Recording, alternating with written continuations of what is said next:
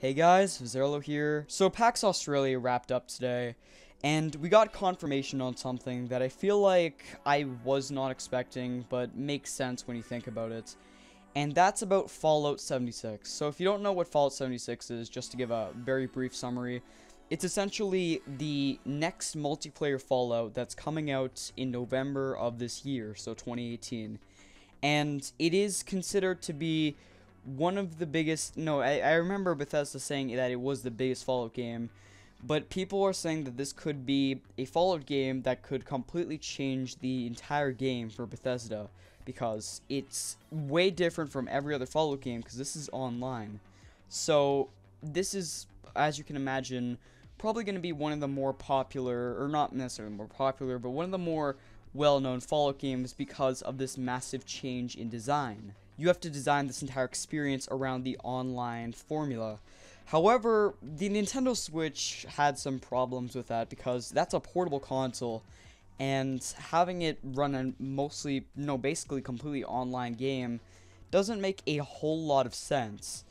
And although I was keeping my hopes up to see Fallout 76 arrive on the Nintendo Switch, at PAX Australia, there was a, there's just confirmation from Pete Hines from Bethesda that they're not going to be putting Fallout 76 on the Nintendo Switch, and I want to go more into that. So Pete Hines was quoted saying that if the game will work on it, we want it to be on every platform possible today.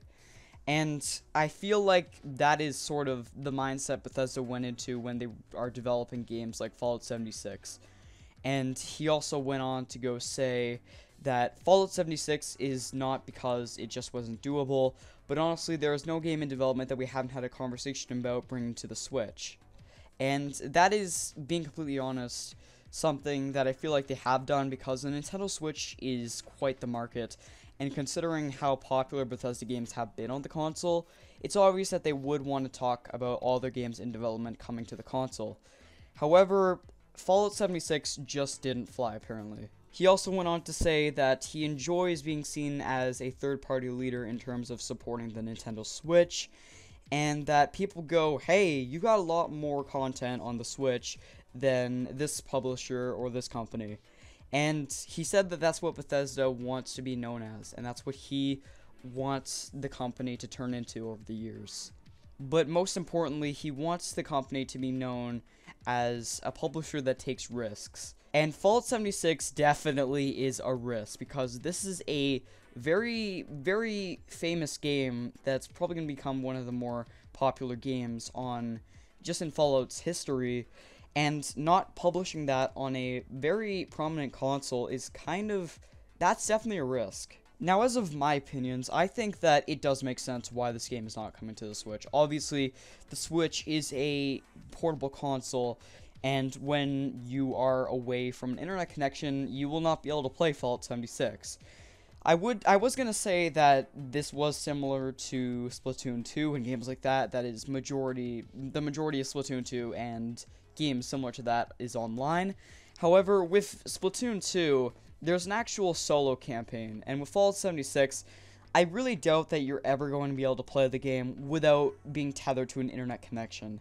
And that's something that publishing on the Switch kind of would make no sense. Of course, if you were in actually tethered to an internet connection or you're just in the home at your home console, then it'd be just fine. But a lot of players and a lot of people who use the Switch actually use handheld mode a lot. So it does make sense as to why, in my opinion, that Bethesda not putting the game on Nintendo Switch makes a lot of sense. And as a bit from a business standpoint, I feel like I could see where Bethesda is coming from. My only issue with this is that if this is signs for the future, saying that maybe possibly the next Fallout solo games, or just in general, the next solo games from Bethesda may not have a chance of coming to Switch, which they very well could, but this could be a sign as to maybe Bethesda is starting to lose their grip on the Nintendo Switch. And I really hope that is not the case, but I'm sort of getting feelings from that because it just sort of, it, with the recent Bethesda not really publishing any new games on the Nintendo Switch, and Fallout 76 being their next big game, not coming to a very a console that they've supported well in 2017, it just it's kind of rub, rubbed me the wrong way a bit. It's kind of making me feel a little bit worried, and I feel like I should be worried because if a lot of the future Bethesda games that are solo don't come to the Switch, that would be extremely disappointing because I am a massive Bethesda fan. Anyway, that is just my opinion, but make sure to leave your opinions on this in the comments.